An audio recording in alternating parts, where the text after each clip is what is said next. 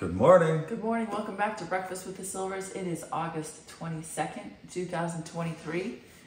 Today's devotional is called Greater Works from John 14 12. He who believes in me, the works that I do, he will do also. And greater works than these he will do because I go to my Father.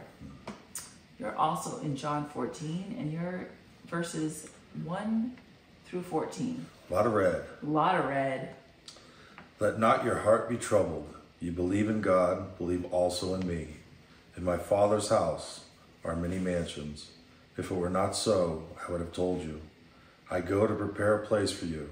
And if I go and prepare a place for you, I will come again and receive you unto myself, that where I am, there you may be also. And whither I go, ye know, and the way you know. Thomas saith unto him, Lord, we know not whither thou goest. How can we know thy way? Jesus saith unto him, I am the way, the truth, and the life. No man cometh unto the Father but by me. If ye had known me, you should have known my Father also. And from henceforth ye know him, and have seen him. Philip saith unto him, Lord, show us the Father, and it sufficeth us. Jesus saith unto him, Have I been so long time with you, and yet hast thou not known me, Philip? He that has seen me has seen the Father, and, ha- and how sayest thou then, Show us the Father? Believest thou not that I am in the Father, and the Father in me? The words that I speak unto you, I speak not of myself, but the Father that dwelleth in me.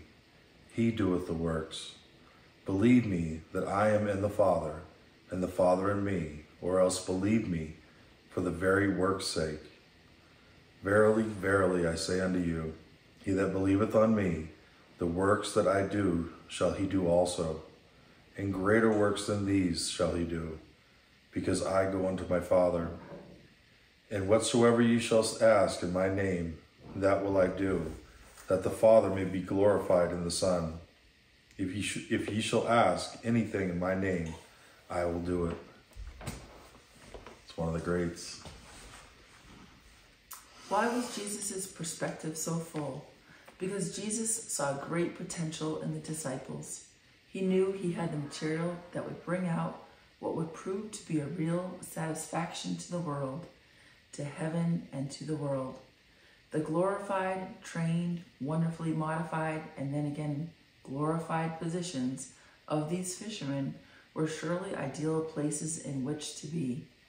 What were the disciples? For one thing, they were unlearned. However, God taught them. It is far better to have the learning of the Spirit than anything else. They were ignorant. He enlarged them. They were beside themselves because they had been touched with the divine life. If the Most High God touches you, you will be beside yourself. As long as you hold your own, the natural and the spiritual will be mixed. But if you ever jump over the lines by the power of the new creation, you will find he has gotten a hold of you. Divine wisdom will never make you foolish. Divine wisdom will give you a sound mind. Divine wisdom will give you a touch of divine nature. Divine life is full of divine appointment and equipping, and you cannot be filled with the power of God without a manifestation. It is my prayer that we would understand that to be filled with the Holy Spirit is to be filled with manifestation, the glory of the Lord being in the midst of us, manifesting his divine power. Jesus knew that these people he had before him were going to do greater things than he had done. How could they do them? None of us is able, none of us is capable, but as we believe in him, we can do greater works because he is in heaven interceding for us. Thought for today our incapability has to be clothed with his divine ability, and our helplessness has to be filled with his power of helpfulness. Hmm. Such a blessing to be filled with the Spirit. God bless you. God bless you.